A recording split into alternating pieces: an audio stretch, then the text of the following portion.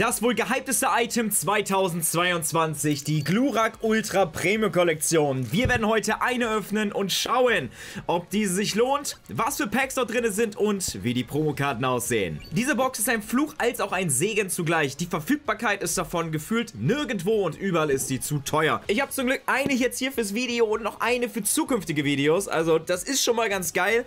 Aber warum ist diese Box so gehypt? Nun, wenn wir diese aufklappen, kommt uns hier ein goldenes Paket entgegen. Wir haben hier schon mal, wie es aussieht, die Matte am Start. Die werden wir auch gleich nochmal auspacken. Das wird, glaube ich, sehr, sehr geil. Und da haben wir sie. Glurak VMAX Heilig ist das ein geiles Artwork. Das ist ein krasses Artwork und ihr wisst, was das bedeutet. Der Big Boy ist am Start. Machen wir weiter. Wir haben jetzt hier so kleine Fächer, die wir aufziehen können. Ähnlich, oh, hier haben wir Booster drin. Bei den letzten Ultra Premium Boxen. Wir gehen der Reihenfolge nach durch. Bei dem normalen Glurak, was wir haben, haben wir diese Sachen. Okay, hier drinne.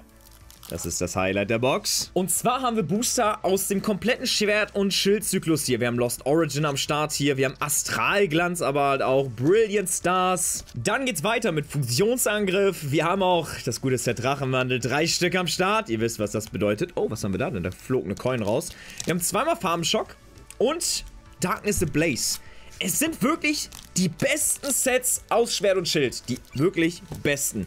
Dabei haben wir noch ein paar Extras. Wir haben die goldene Würfel in Form der Schadensmarken. Wir haben hier Vergiftung als auch äh, Verwirrung. Wir haben hier eine Vista, die aber einfach ist. Die ist jetzt nicht wirklich Metallic. Finde ich ein bisschen cheap schon fast. Wir haben hier die goldene Münze mit dem Glurak VMAX drauf. Und wir haben auch die Sleeves passend zur Matte. Ist alles gut was wert. Die Box kostet OVP 130 Euro. Aber ich kann euch sagen, die werdet ihr nirgendwo für diesen Preis finden. Ich, ich habe versucht, überall diese Box irgendwie auf Deutsch zu bekommen. Ich habe sie nirgendwo gefunden. Ich habe sie nirgendwo gefunden. Ich war überall da zu Ladenbeginn. Wollte mir eine Box kaufen. Keine da. War ein bisschen schade. Ich konnte aber ein paar Leute von euch treffen. Und das hier konnten wir ebenfalls treffen. Promo-Karten. Wir schneiden diese ganz vorsichtig auf und hoffen, dass diese in einem guten Shape sind. Da haben wir sie. Da haben wir sie. Let's go. Charizard V. Normal Art. Sehr geil. Das sind alles Karten, die ins V-Star Universe erscheinen werden in Japan, die wir jetzt hier auch schon haben. Ein brachiales Artwork mit dem brennenden Wald und Venus im Hintergrund. Passend zur Altart Glurak V. Also ist ein kleines Pendant dazu, finde ich sehr, sehr geil. Machen wir weiter. Wir haben Glurak V Max am Start. Eines der schönsten Artworks ever. Seht ihr die Struktur? Boah, ist die geil. Ähnelt schon fast einer Magic the Gathering Card. Die Karte jetzt hier in Real zu sehen, ist unglaublich. Freue ich mich mega drüber. So ein schönes Artwork, ey. Clash Slash G-Max Wildfire. Und ganz zum Schluss die V-Star Glurak mit dem Mewtwo drauf, passend zu V-Star Universe. Bisher das beste Centering auf jeden Fall bei der V-Star Karte hier. Wir haben noch einen Code, den könnt ihr euch gerne snacken, wenn ihr wollt. Gönnt euch. Aber das ist so eine schöne Karte halt, ne? Wie dort Mewtwo, Glurak kämpfen. Und das Ganze gibt es in einer anderen Perspektive. Wurde heute revealed, by the way, von der Pokémon Company, wo Mewtwo vorne ist und Glurak hinten. Gab es natürlich auch schon Leaks zu, aber das Ganze jetzt in High Quality zu sehen, ist natürlich ein bisschen geiler. Karte sieht jetzt nicht so super aus, muss man sagen. Wir haben hier auch überall ein bisschen Whitening an den Corners. Also ist jetzt nichts gradable, aber definitiv für meinen Alt Art Binder, den ihr sehen wollt, habe ich gehört. Sehr schöne Karten, über die ich mich sehr freuen würde.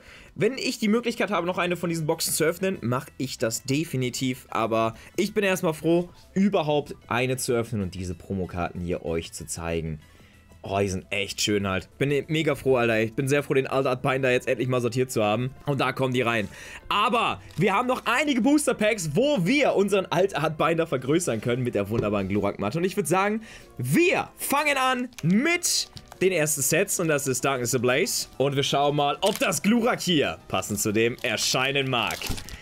Let's go, ey. Aber ne, ich fand's ganz cool, auch wenn viele von ja, den Leuten, die ich heute getroffen habe, keine Ultra Premium Kollektion bekommen haben, dass man sich wenigstens zusammen getroffen hat, kurz getalkt hat, war sehr, sehr nett. Also Grüße gehen raus an alle Leute, die ich dort gesehen habe. Denn es ist immer sehr cool, ein paar Zuschauer von euch auch mal so zu treffen und mit euch mal zu talken, auch über, ja, TCG-Kram, obviously. Aber ja, ist halt leider schade halt, ne? Also wenn du halt versuchst, überall pünktlich da zu sein, dann ist nirgendwo was oder nur auf Reservierung oder ähnliches. Ist halt immer ein bisschen doof, aber das ist halt bei Pokémon-Produkten leider so, dass die Verfügbarkeit immer sehr mager ist. Leider. Aber gut, wir hoffen jetzt erstmal, dass unsere Pulls hier heute nicht sehr mager sind. Wir haben hier ein Weilord. Grüß Gott. Erster Pull, eine Holokarte. Das ist schon mal sehr gut. Mal gucken, ob wir eine Amazing Rare ziehen können. Würde ich mich sehr drüber freuen. Ich bin immer noch großer Fan der Amazing Rares. Auch wenn viele sie nicht mögen, auch wenn viele sagen, ne, ist eine Rarity, die brauche ich nicht. Da finde ich die Character Rares sehr viel besser. Aber ja, das sage ich auch. Character Rares sind sehr, sehr viel besser. Und wir bekommen neue Rarities. Oh, V. Das gute Maritelit haben wir hier. Nicht die stärkste Karte, aber eine coole Karte. Ich mag Maritelit, war mein Playthrough im ersten. Dementsprechend bin ich da sehr, sehr happy. Wir bekommen ja aber halt auch die neuen Rarities im Vista Universe mit den... Es sind Character Rares so ein bisschen, aber ohne Charaktere. Es sind ja nur noch Pokémon mit Pokémon drauf. Also, ich bin gespannt, wie das aussehen wird in Real. Also auf dem Video heute sah es schon sehr, sehr krass aus. Aber wir gucken mal. Wir öffnen erstmal hier das gute Set Drachenwandel. Und wie auf TikTok funktioniert es nicht. Weil das Set mag mich halt nicht. Aber das ist kein Problem, das bin ich gewohnt. Äh, folgt mir by the way auf TikTok, falls ihr Daily Openings sehen wollt. Da lade ich auch Highlight-Pulls und sowas hoch. Könnt ihr gerne abchecken. Und ansonsten auch YouTube Shorts. Wir haben die Spirit Mask und Gigalith. Bisher läuft es richtig gut. Letztes Drachenwandel-Booster. Komm schon. Wir wollen doch nur, ich will doch nur die Eevees in Altart haben. Ist das, ist es schon ziemlich viel verlangt, wenn ich das mal so sagen darf. Aber es wäre doch mal richtig toll. Okay, gehen wir zum nächsten Set. Machen wir weiter mit Fusionsangriff. Dort haben wir auch einige Artarts, die ziemlich bombastisch sind. Und wir hoffen mal, dass wir hier wenigstens etwas ziehen können. Ich würde mich auch über eine Mew freuen oder über den VIP-Pass. VIP-Pass, gute Karte, hoffentlich ziehen wir sie. Dynamo, Zorua. Wir haben Golem. Wir haben Absol. Komm schon. Wie? Ei. Was ist hier passiert, Alter? Seht ihr das? Hier ist voll die Delle in den Karten. Das ist jedem passiert. Quality Control mal wieder richtig on point bei Pokémon. Dankeschön für kaputte Karten. Machen wir weiter mit Fusionsangriff und hoffen mal, dass das Orbital V nicht unser einziger Pull war. Komm schon, Wooly. Wir haben Pam Pam. Und ich freue mich tatsächlich, boah, ich weiß nicht, diese Box ist halt so crazy, sage ich euch. Wir haben hier das gute Gordegasson in der Gala-Form. Auch wenn es ein ganz normales neues Pokémon ist. Warum es eine Gala-Form ist, I don't know. Aber gut, nee. Also die Box ist schon sehr, sehr krass und ich denke, die Verfügbarkeit soll hier tatsächlich sehr hoch sein im englischen Raum.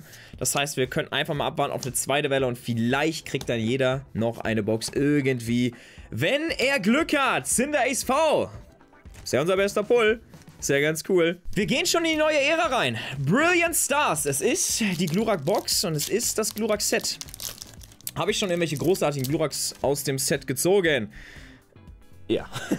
Wir haben, glaube ich, Rainbow Glurak irgendwie dreimal gezogen und das Alt Art Glurak einmal. Ich will eigentlich das Arceus haben. Du siehst nicht so aus wie Arceus. Du siehst aus wie Manafi. Denn das Arceus in der Alt-Version ist schon sehr saftig. Aber dafür müssen wir es halt auch erst bekommen. Und wisst ihr, es hört sich vielleicht so an, als würde ich Altarts hier links und rechts ziehen. Aber irgendwie ziehe ich nie Altarts. Ich habe irgendwie...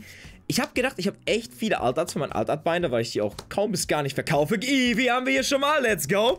Character Rare. Aber ich habe gar nicht so viele, wisst ihr? Ich habe gedacht, ich habe irgendwie viel mehr. Bestes Pack bisher. Eevee und Raikou. Das ist auf jeden Fall sahnig. Die nehme ich. Raikou und Evoli Character Rare mit dem guten Bill. Die sind mega. Team Yell haben wir noch. Oh, das gute Cinchino.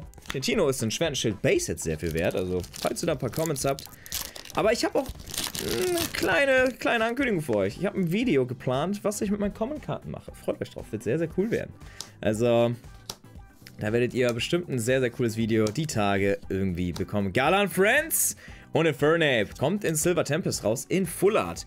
Warum sie die hier nicht mit reingeprintet haben, fragt nicht. Pokémon denkt sich halt Sachen. Astralglanz, das war's schon mit Brilliant Stars, wirklich. Okay, Astralglanz, du musst richten. Hier haben wir schon fast alle Altarts gezogen, außer Macho Mai. Also Rowlet, um Surf mir, das kleine Surferboy. Also, eigentlich ist das Astralglanz wirklich ein Set, das brauche ich eigentlich nicht mehr öffnen. Aber wir schauen mal. Eventuell hat es ja Bock, uns noch was krasses zu geben. Aber dafür muss es auch gönnen. Wow. Kann es sein, dass ich die schlechteste Box überhaupt erwischt habe von meinen Ultra Premium Boxen? es ist die schlechteste Box, die ich... Also ich habe von vielen Leuten schon Fotos gesehen und sonst was. Die haben echt nicht gut gepullt. Aber ich pull ja gerade echt richtig, richtig Garbage. Hoffen wir, dass sich das noch ändert. Starmie V haben wir hier auf jeden Fall am Start. Nochmal eine V-Karte, also die dritte V-Karte. Und ich glaube, wir haben zwei Holos. Ja, bisher ist doch nicht so gut, sagen wir mal. Wir haben noch zweimal Lost Origin. Das ist ein bisschen sad bisher. Also die Pullrate ist ja äh, irgendwie nicht so der Burner. Vielleicht jetzt hier Lost Origin. Äh, vielleicht äh, irgendwas. Äh, okay, nicht. Ist okay. Last Pack Magic. Please! Ich will doch nicht viel. Ich will nicht viel. Ich will mindestens eine Vista. Es ist echt nicht zu viel der Kopf schon. Licky Tang. Pipi. See dort? Ich weine innerlich. Zwei Holokarten, drei V-Karten. Coole Box. Also, die ist cool, die Box. Aber die Puls waren echt...